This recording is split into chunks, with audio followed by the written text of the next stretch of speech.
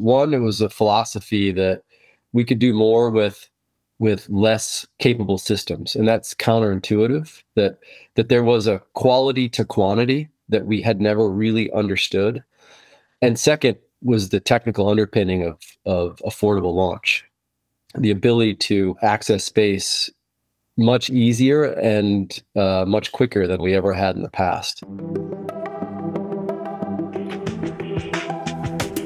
Hey everyone, thanks for listening to another episode of DIB Innovators. Today I'm speaking with Josh Hartman, Chief Growth and Strategy Officer at LightRidge Solution. Uh, it's also kind of fun because Josh and I went to the Air Force Academy back in the day, so we have a long history. So thanks for joining, Josh. Thank you. I appreciate the opportunity. You bet. Well, A, thanks for your service. Thanks for looking after our nation and the career, uh, varied career as you've uh, moved through, uh, always putting that on the forefront. But why don't you tell me a little bit, tell our listeners, you know, how you uh, how you got to where you are through kind of the military and your journey. I think it'd be interesting. Yeah, well, I, I mean, I went to the Air Force Academy because I wanted to be an astronaut, and so uh, my dad was actually actually a conscientious objector, and and oh, so yeah, I don't think you ever knew that, but um, despite that, he was fully supportive of me going. I spent four years there planning to fly and go on to be an astronaut, but you know that was a year that that we had peace dividends and and uh, so really one of the one of the early pivotal pivotal parts of my career was was out of came out of failure. I mean that I didn't get a pilot slot, which is what you know the whole real reason I went there, and so I had to pivot literally to do something else. And my degree was in physics, and I loved space, and so I followed a bunch of our of our buddies out to Los Angeles Air Force Base where they happened to be making satellites, and and that was my exposure uh, beyond you know the academy curriculum to space and a, and a passion for space that uh, took me down that that course. Very cool. And then from the from the Air Force, uh, how did you continue? You know, marching along. I did the the normal thing that that you do as an Air Force officer and checked the boxes and went to the Pentagon for my second career uh, move and and got to work at the National Reconnaissance Office building you know quote unquote spy satellites. And you know as an acquisition officer you don't get much exposure to operations but I had a you know the NRO is a very uh, operationally oriented organization and uh, one of my last jobs there before I decided to transition out of the Air Force. In fact it was defining uh, for that decision was for me to run around the globe uh, with with other you know blue and, and green suitors and talk to folks who were at the at the embassies working for the CIA or or talking to folks who were who were deployed in the uniform and, and in harm's way about the hard problems that they were trying to overcome from a intel and an operations perspective. And then we would come back and build a essentially a tiger team that would try to rapidly build a solution and deploy that right to the same folks we were just talking to, you know, six, nine, 12 months ago. And it was all about leveraging space.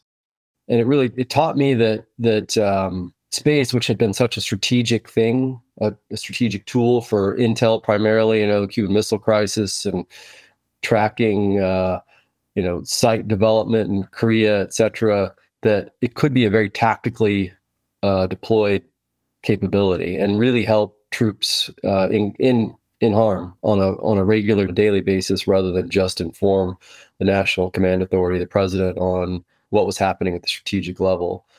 And so as i transitioned out of that job i had a decision to make either go back to doing acquisition programs and and watching things evolve over the course of five six seven eight years which is how long it took to build a satellite or try to transition somewhere else where i could have a more of an impact and, and reshape how space was being deployed. And and for me, that meant outside of the uniform, oddly enough. So I, I was fortunate enough to, after a, a, while, to to find somebody who was um, up on Capitol Hill in one of the committees that was willing to take a chance on a young guy that thought he had a lot of great ideas about space and and so actually was a Naval Academy grad who welcomed me on board to the Armed Services Committee. And then and then from there I spent, you know, four and a half years both on the Armed Services Committee and then transitioned to the Appropriations Committee to uh, really reshape strategy and how we use space and, and investment in in our space systems overall. How was that working on the Hill?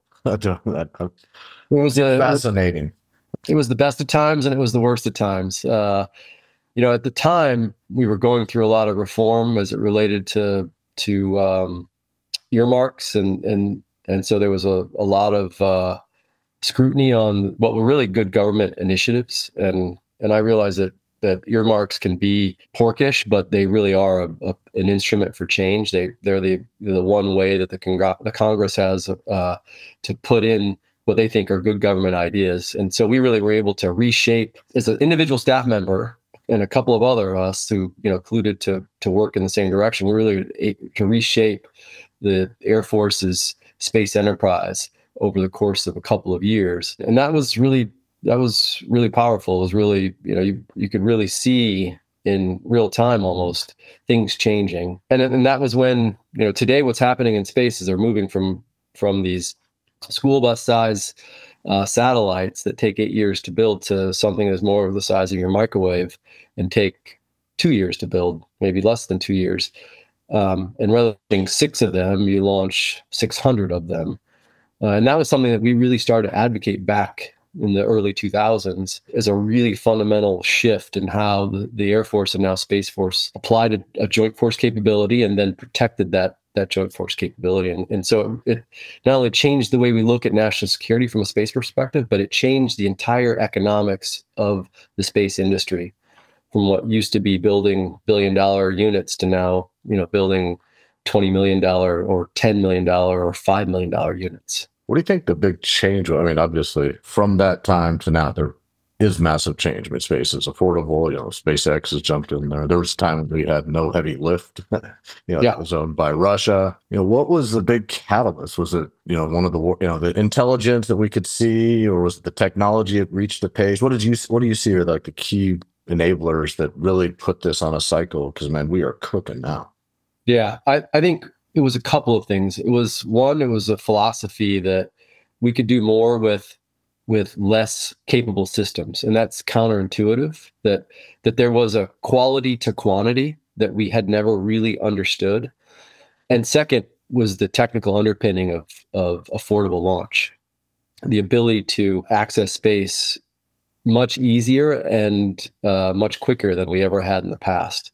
And and SpaceX really played a, a, strong role in that, but they weren't, you know, they were not the only company at the time who was really pushing the envelope on how to figure how to how to rapidly deploy systems to space. There are a number of other concepts, and we've got a number of options today, particularly in the small launch market, that that are really very affordable and give us um, a lot of optionality on how to get access to space. Yeah, that's cool. So as you then, you know, pivot out of that, how did you find yourself being with first Geost, so you were the president of Geost, and now, yeah. you know, chief growth strategy officer for LightRidge? So I, I, I spent a, a, tour in the Pentagon after uh, as a as a political appointee in the acquisition organization, also sort of carrying on what we had did in Congress for another almost three years. Um, and then as the administration changed, I I found myself unemployed frankly, and I wasn't sure what I was going to do. So I started doing some consulting, and and and you know, the first point I would make to anybody is uh, owning your own business is a really empowering and uh, tremendous learning experience. And um, you know, as you start to build employees and you're and you're trying to make um, payroll, it becomes real, and the accountability of you know how you make decisions and the thoughtfulness is not thing that when you were an employee you necessarily appreciated. But it's a it's a um, it's a really good opportunity. So anybody would ever have the chance to start their own business, I really encourage them to think hard about that because it's a it it is um, it's a good good deal I think overall for for folks who have the ability to do that. But I ended up building a consulting firm that had another 40 folks uh, attached to me over five years. And then we sold that to another firm. I became a partner there. And I guess what's important about that experience as it relates to the bigger picture is, you know, I left government. I had been there for 16 years. I was a blue suitor, then a civilian for a while. I did get my MBA, but I didn't know really anything about business in the truest sense. But helping companies think about business over the next nine years and getting into private equity uh, investment and supporting mergers and acquisition and looking at how you filter for selection on your next acquisition and um, really understanding how to you know what the levers are for creating cost savings and then developing new technologies all that really was a the next nine years was a crash course on on all of that that brought me to geost and and how did that happen? Um, you know, I, I was done I was done giving other people advice how to run their company. I thought I wanted to get in and run my, you know, a, a real company that built hardware and software. So I, I started looking around at some of the founders that um, had small companies that I thought were going to take off and go somewhere. And and I approached four different companies, and two of them were interested. And my proposition was simply, you know, here's my background, here's the things I've done. I think I could help you. And in, both cases, it was help your wife. It was a mom and pop shop, grow your company and then take it to market. And and I don't I won't work for a salary. I'll work purely for equity.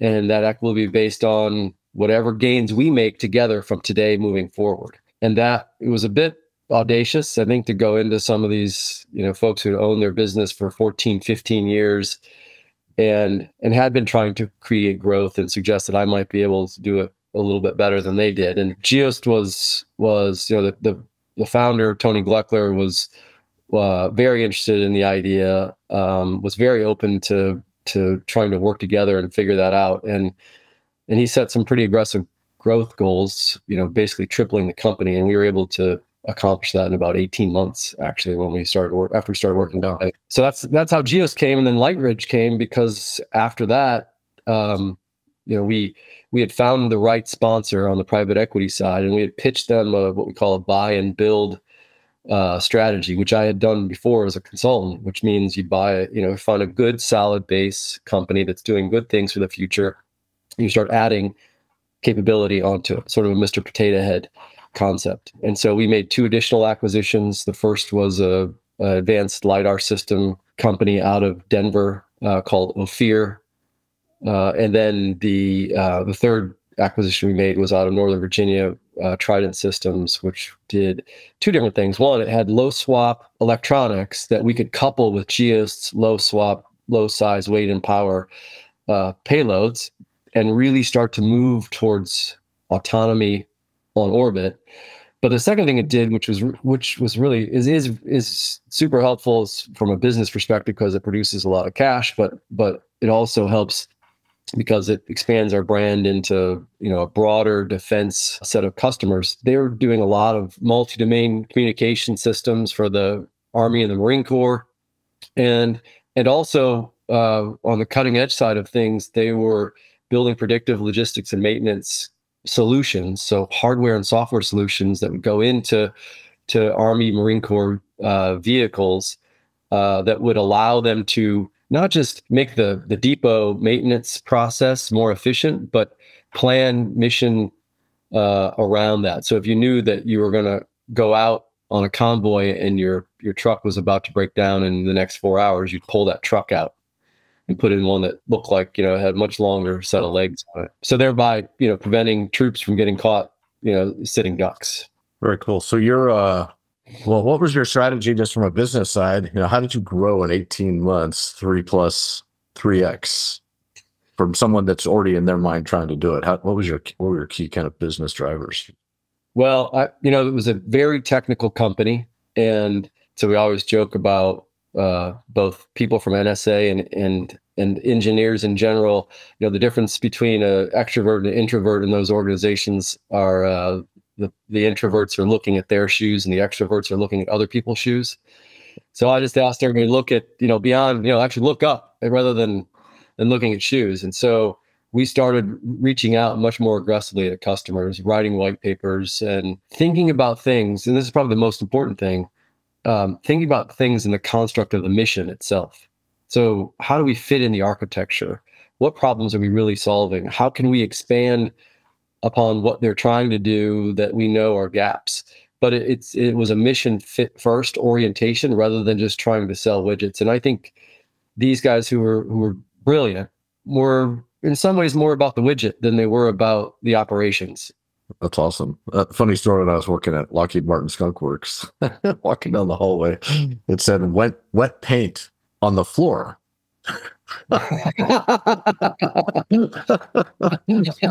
so you didn't stick your hands into the wall. so I'm like, oh, that definitely resonates. Yeah, uh, that's what they're looking. That's right. Uh, that's great. So you're uh, you got the three companies. You know, are there do they work together or, or just business ways? Did you integrate them all? Because that's often a challenge when you start getting into these mergers and, you know, incorporating yeah. from business systems to just the overall kind of operations, or do they run independently and then you're just trying to bring them into other contracts together? How, how do you look at that from a, both a business? Yeah, that's a, that's a great question.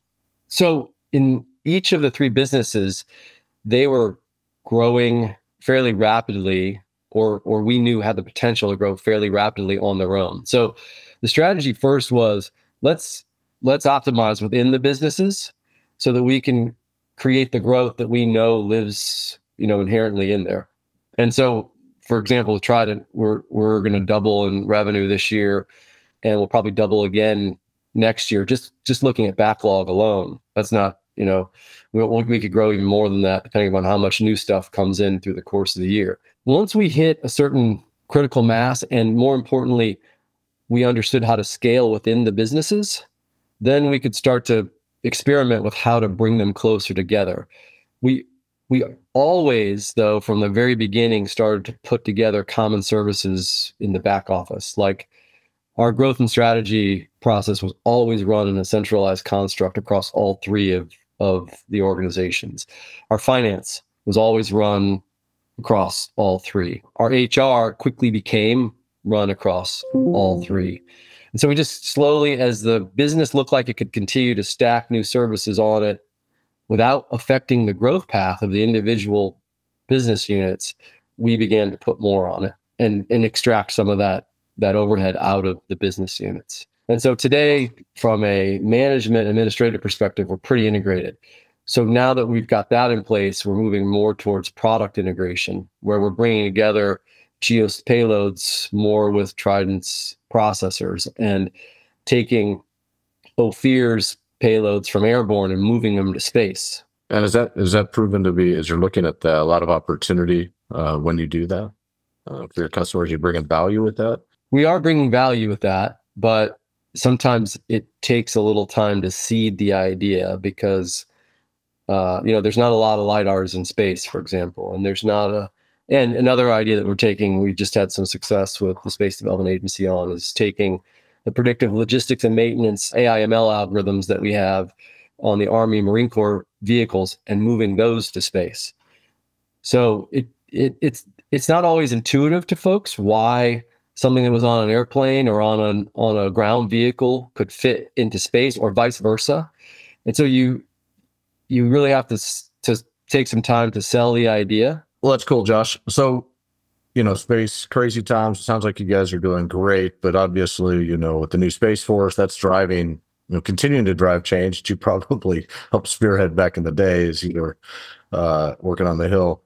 Now, General Saltzman talks about competitive endurance theory.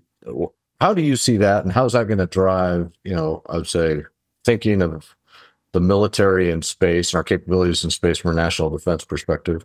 And how will that specifically affect you?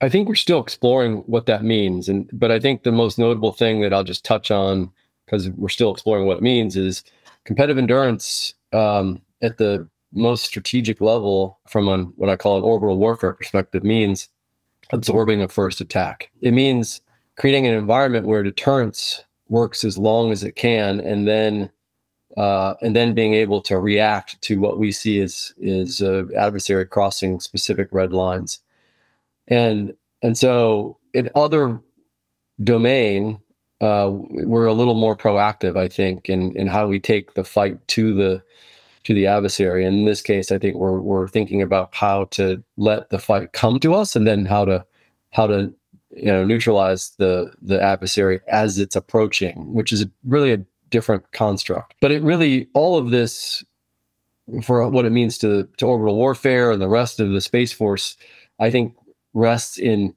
taking lessons learned from other uh, domain and other, you know, other other tactics of warfare and applying them to space. So what it, what it means for for my company is it it means ultimately trying to to support the idea that uh, there's three key tenets to to um, competitive endurance. The first is that you have to have a very strong space domain awareness capability that is really vigilant and persistent around the globe and in all orbits. And The second is that we have uh, systems that are resilient, survivable through that attack. And it may not be just systems, but it could be architectures as a whole.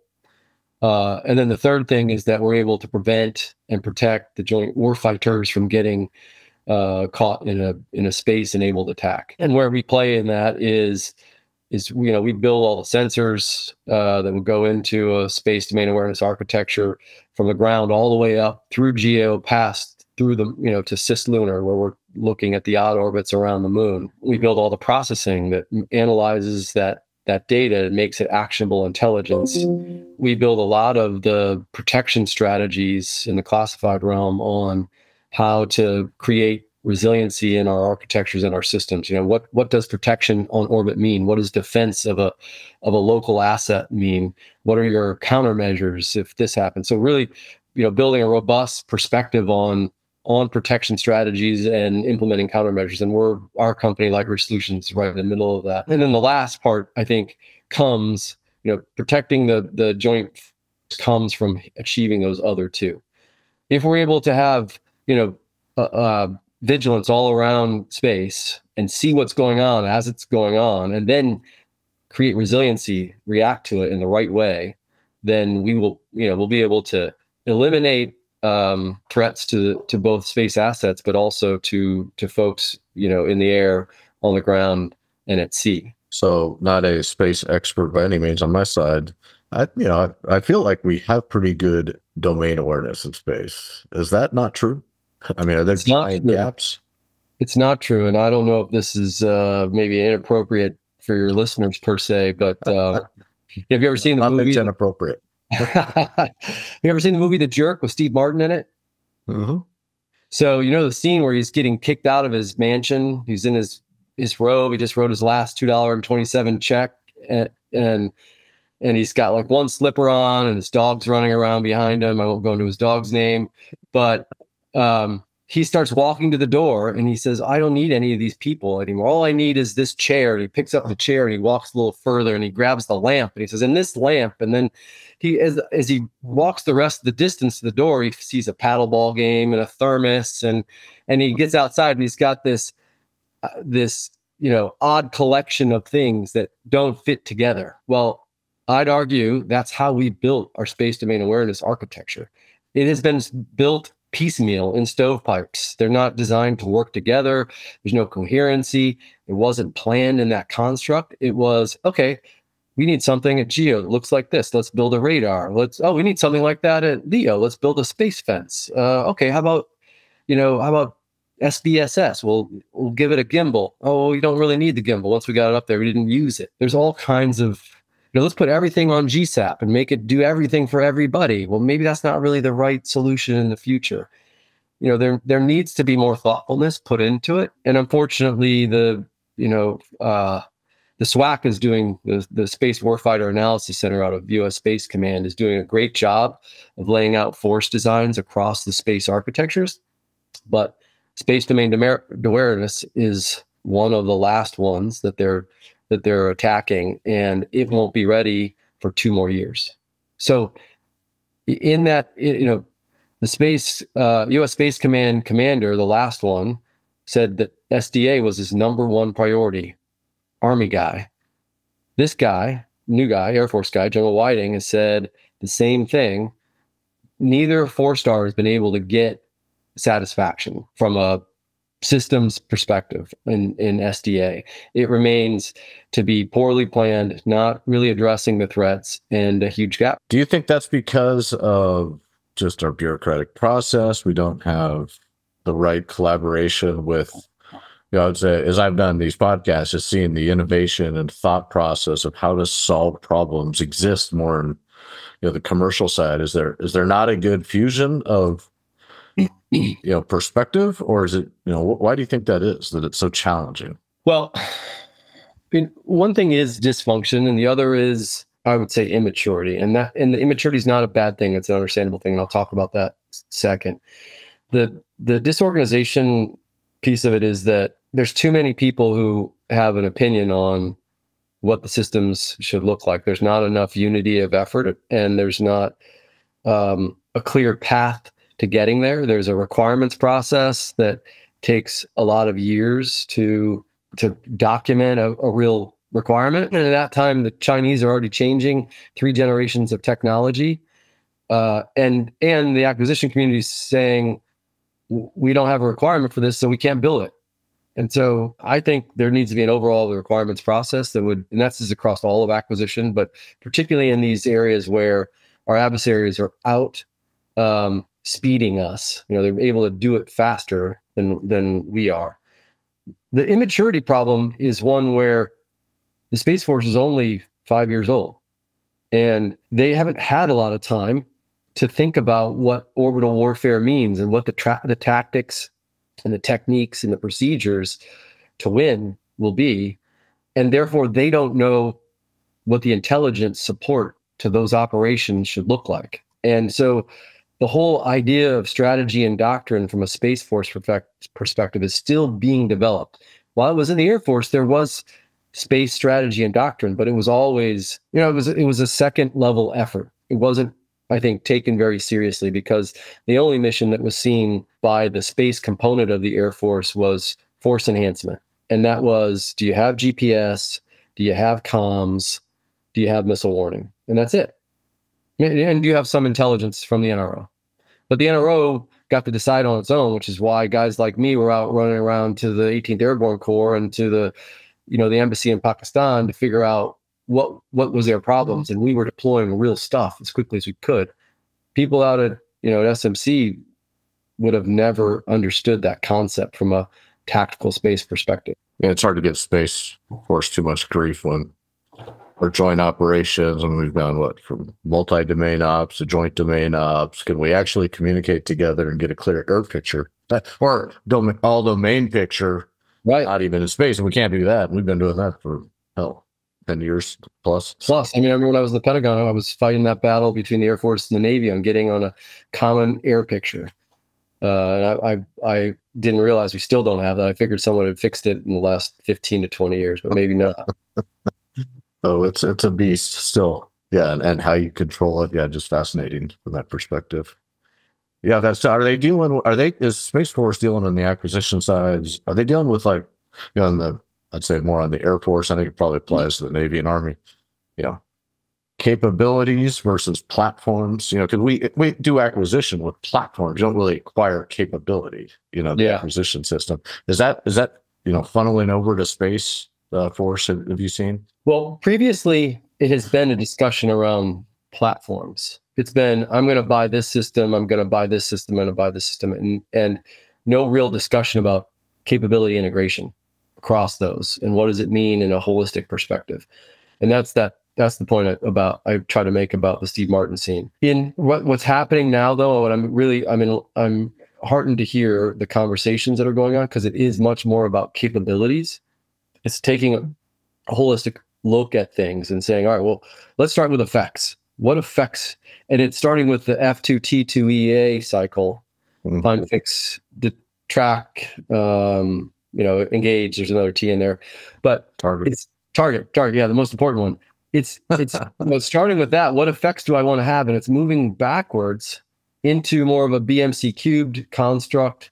That so we inform, take the F2 T2EA effects based uh, capabilities we want, then let that inform what a BMC cubed infrastructure that would connect to that looks like, and then let's turn that into an ISR T, T, TCPED construct, task, uh, collect, process, exploit, dissemination. Let's link those cycles all up. And so we're doing that from a space perspective, I think. I'm mm. hearing let's start at the end and move left in the chain all the way from what data am I collecting and why? Yeah, that's good. I mean, that's that's a hard thing to do. That's the way our, you know, system works. And yeah, they're well, what makes it harder for space is, I think, and I'm not saying that the others not that, that space is unique per se. But what's going to make it harder for space is they have to work backwards in that in that chain, and then they have to automate it because the distance at which we will be operating, you know, at a minimum 400 kilometers range from the Earth against things that are moving 17 and a half thousand miles an hour all the way up to things that are moving in non, well, generally non Keplerian orbit, orbits, things that we don't understand, things that are maneuvering all the way out past the moon, which is, you know, another what I don't know, I can't remember what the distance the moon is, but but at least twice the geo, so 72,000, 80,000 kilometers. Um, light takes a, a, reasonable distance to get back and forth, uh, but RF takes a very long time. So comms of of information coming back to the Earth, and then allow a decision maker to make a decision on that data, and then send something back to execute. A satellite will be dead by the time all that cycle takes place. So collection, processing, analysis, developing red lines, understanding the scenarios and creating COAs, and then taking action all has to happen at the edge on orbit. It can't come back down to the ground because we just won't have enough time. So, so autonomy is is you know automating that is a is going to is a hard technological thing. If nothing more than it's just hard for humans to let go of some of those decision processes. Well, can't we just put them on the next space station? No, we can have humans out there. We should. Yeah, we can do that. We can forward deploy. I like that. That's right. Yes. I mean, that's part of the vision, right? The grand vision. Yeah. Uh, I, I have to go back to something that just when we were talking about resilience and surviving in space, the thing that seems to me that is if we really get into some sort of warfare, a kinetic engagement in space. Yeah. How is, because I mean, these space, you know, you know better than me, but they're very thin, you know, I'd say shells of the satellites or the buses or whatever's running around. Like the debris that's going to be created seems like it would be like almost wipe out the entire, you know, wipe out large sections of things in orbit that would affect the entire world, not just us. I mean, is that true? Is that a misnomer in my mind or?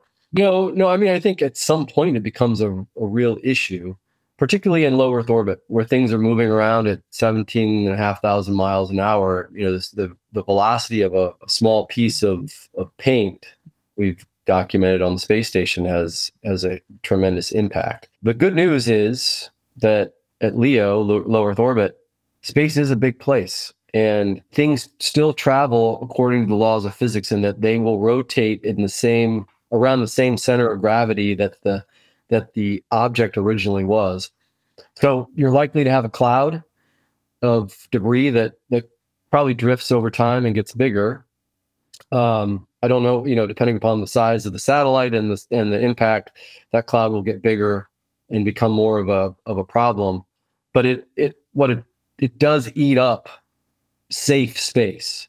But there is the good news, a lot of safe space in in geosynchronous orbit. It's not as not as much of a concern because there there's not a lot of maneuvering things that are out there. And the things that are maneuvering probably maneuver around debris because they're not moving at the same speed as mm. they are in low Earth orbit. You know, in, in in in low Earth orbit, you have much more of a problem. And and the you know also compounding factor is U.S. commercial entities pumping up twenty thousand satellites, and now the Chinese are going to pump up another fourteen thousand satellites just on operating vehicles alone we're going to have you know 30 to 40 to 50,000 satellites at some point in the future operating in low earth orbit. And that by itself is more more than the number of debris pieces that we're tracking today. So it, it, it will get to some point where it's it's scary but the truth is we're not i don't believe we're anywhere close. Some of the analysis suggests that that we're not that close to knocking everything out of the sky with debris. Okay, that's good. That's good perspective. It is big. that is for sure. It is big. Basically, yeah. pretty large. Well, okay. So back to LightRidge. You know, what do you guys see as your future? You know, future in the next couple of years? Any upcoming projects or initiatives that you're super excited about that you can share? Yeah, I, I think so. The LightRidge, our tagline is making sense in space, and uh, you know, what does that mean? It really means combine, combining the advanced uh, low size, weight, and power sensors with that advanced processing at the edge that I talked about. And then being a part of this automation of the TC-PED process, the BMC cube process, and the F2T2 process. It is, I think, where how we've tried to assemble all the parts and pieces of the company. It's where we put our IRAD into. It's where we're trying to be market leaders for the future. Uh, and so I, I, see us continuing to build um, sensors for these more critical missions in space defense and missile warning. Uh, I also see us building the algorithms that help support the processing of that data and and putting the next generation uh, of AIML capable processors with largely with the Versal technology. And that's a, a brand of uh, one of the, the processing companies that is really enabling some of this capability. Um, and that will be that'll be a core part of what we do. Yeah, that's great. Exciting times, definitely. Yeah. Well, unfortunately, Josh, we're going to have to wrap this up. I could sit here and, in fact, I'm going to come out DC just so we can uh, BS some more about it. I love it. Uh, what a great perspective, and you know, honored to have you on here. It's been cool. So my pleasure. Um, Thanks for the for the opportunity, and I always you're always welcome whenever you can. Yeah. Let me know. Perfect. So, folks want to follow, you know, one of your uh, companies or your over, you know, LightRidge. How would they follow you? Do you have a? Yeah, we're on LinkedIn and um, uh, both at the LightRidge level and each of the companies have a site. And then we're at uh, lightridgesolutions.com. And then you can, from there, uh, learn more about the entire entity, or you can go into some of the individual business units, our space, air and space business unit, our, uh, our technology business unit, our C4SR business unit. Awesome. Well, thanks so much, Josh. We'll talk later. My pleasure. Thank you for the time. Cheers. Take care.